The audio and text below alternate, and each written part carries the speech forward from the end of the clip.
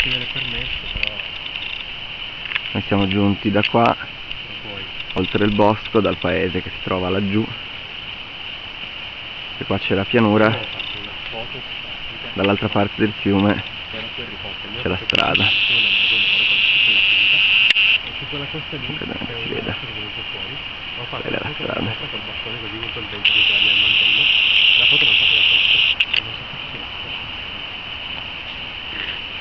La spianata è molto grande, continua anche di là, sempre piano, e controsole.